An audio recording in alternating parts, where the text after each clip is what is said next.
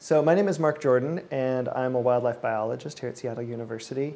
And my research is in urban ecology and urban wildlife management. And we're looking at two things in particular in the natural areas in South and West Seattle.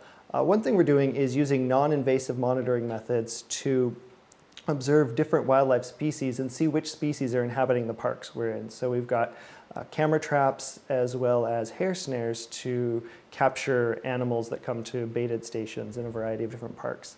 And then what we can do is look at habitat conditions and conditions around each park, the size of the park, how close a park is to another park, and see if that has any relationship to which wildlife species we find in it. The other thing I'm doing related to that is we're collecting hair samples from all of the species that we capture at these stations, and we're using the DNA in the hair to look at how related different animals are between different parks. And we're focusing on raccoons and opossums because they're relatively easy to catch. We have quite a few of them here in Seattle, and they tend to move relatively well through urban landscapes. And so what I'm interested in is, are there particular barriers for even a relatively mobile species like these carnivores in, within South or West Seattle? And so we use the relationships between the genetic relationships between these individuals we capture, and we assume that if two individuals that are caught in two different parks are relatively similar to each other genetically, then there's a lot of movement back and forth. They're exchanging genes. If there is very little similarity between them, we assume there's not as much movement back and forth. And then we can start looking at the landscape to identify barriers on the landscape that might be obstructing movement of individuals. And so the, the bigger picture then is to really identify how connected ecologically are Seattle's parks to each other and what does that say about the, the other parts of Seattle, the residential, the industrial areas of Seattle. How effective are they in allowing Seattle to function as a, a fully functioning ecosystem? So carnivores are a good indicator of uh, the health of an ecosystem, and that's why we're studying them in particular. They tend to indicate if you have carnivores, then you know there's enough food for them to eat, and then the, the animals that they're eating also have enough food to survive on as well. So if you've lost the carnivores, that means there's not enough sort of nutrition, if you want to put it that way, at the base of a food chain coming in to support a healthy carnivore population. So having more larger carnivores around is a relatively good indicator that there, there's more function, there are more interactions within that particular ecosystem among different species. Part of the, the issue with sort of fragmented or disconnected ecosystems is you get a loss of species diversity. And we certainly see that if you compare Seattle's parks to, say, a park up in the, the Cascades, that you would find just fewer species overall, so lower biodiversity. And then you also lose some levels of ecosystem function as well in terms of um, sort of generating more nutrients for more species to live in, as well as, um, well, those, those I guess would be the main ones, at least associated with biodiversity.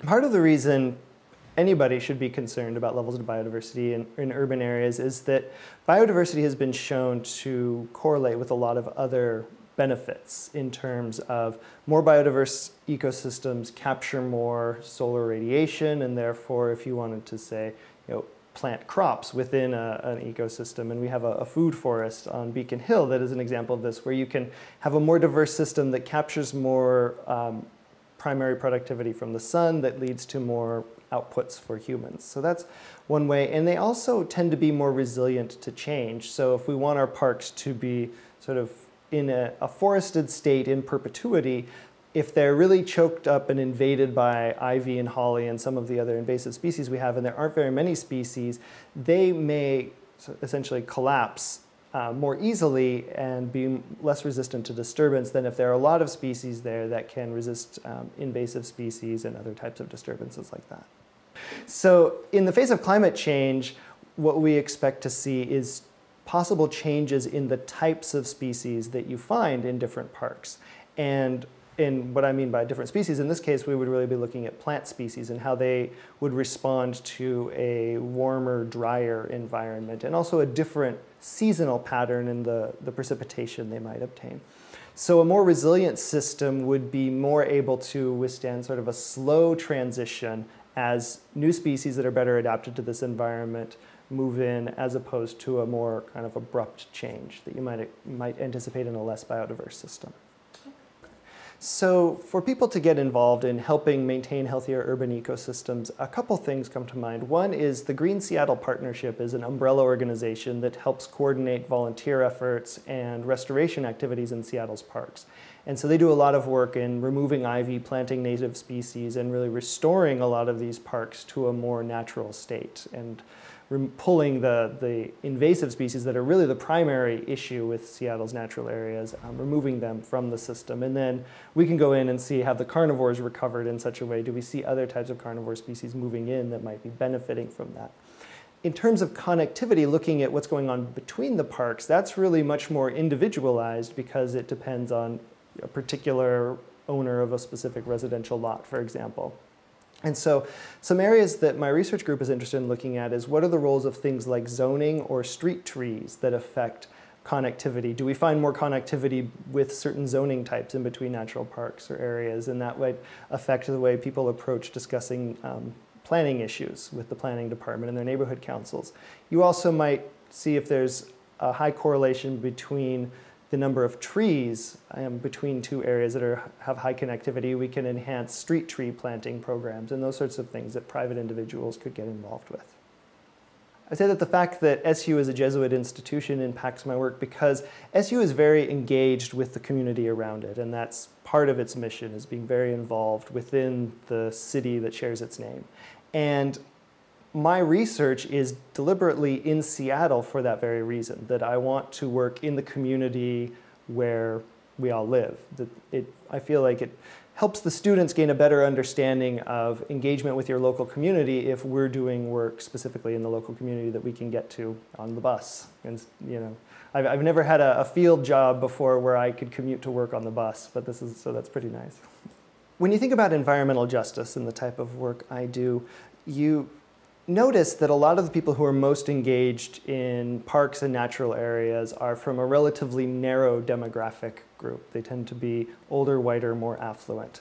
But in the parts of the city where I'm working, particularly in Southeast Seattle, we have communities from all over the world. And so there are a lot of people who simply are not as engaged with the, the communities and the parks right around them. And I think that one of the important environmental justice missions for people who are interested in urban park systems is to find ways to reach out and understand what diverse communities want out of their parks and natural areas. And related to that is that their kids, I feel like there's a lot of research around the importance of getting children engaged with nature, just in terms of enhancing environmental stewardship, as well as simply leading them down the right path or helping them you know, perform better in school because they've had time to run around outdoors. And our natural areas are an amazing asset, and Seattle has a, a great array of parks spread throughout the city.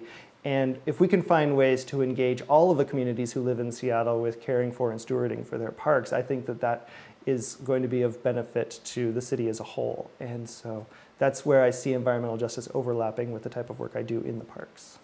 So one thing that gives me pause when I think about humanity's relationship with the earth is that we have leaders who don't seem to be too engaged with environmental issues and seem to be really more engaged with bickering and infighting among themselves than solving actual problems, which in a sense maintains the status quo, which at certain times might be helpful, but in the face of a number of environmental issues that we're facing, like climate change, like invasive species, we can't really sit by and wait. And so what gives me the biggest pause is watching our leaders essentially adopt a stance that results in sitting by and waiting.